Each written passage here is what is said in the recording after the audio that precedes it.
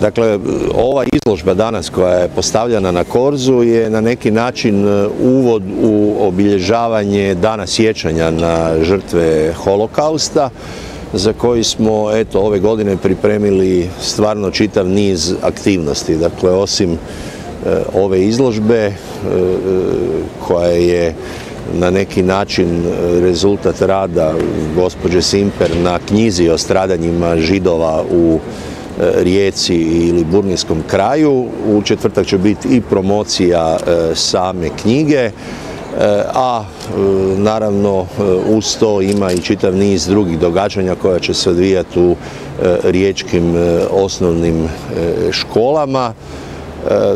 Naravno, mislim da je važno poslati poruku sjećanja na stradanja koja su rezultat e, politike nacizma i, fašizma, e, pogotovo u današnje vrijeme kada vidimo da i u Hrvatskoj, a i u mnogim drugim europskim zemljama e, se na ta događanja počinje gledati sa pozicije znači ili opravdanja ili nedovoljno, nedovoljno kritike prema E, politici koja je dovela do možda i najvećih žrtava e, u povijesti e, čovječanstva. Naravno, pri tome ne mislim samo na židove, nego i na sve ostale koji su izgubili živote kao rezultat nacističke politike, samo zato što su po nekim tumačenjima bili eto krive vjere, krivog, iz krivog naroda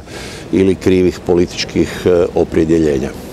Radim u školi, podučavam mlade o holokaustu, smatram da je nužno, smatram da treba govoriti o onome što se dogodilo, smatram da treba govoriti o e, značaju e, antifašizma. I danas, mislim da to nije prevaziđena tema, mislim da o tome treba kritički promišljati, prenositi na mlade, da treba e, dakle raščistiti sa, sa povješću i naravno u svrhu kako se, kako se nasilje, takve vrste nasilje nad ljudskim pravima, a čemu svjedočimo i danas u cijelome svijetu ne bi događalo.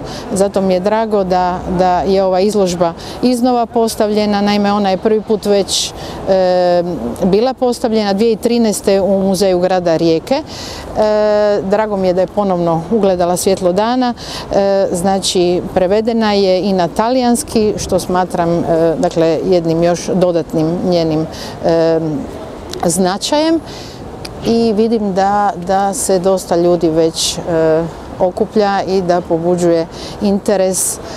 Zahvaljujem gradu Rijeci što je omogućio njezino postavljanje i eto pozivam sve na predstavljanje knjige na istu temu, dakle 24.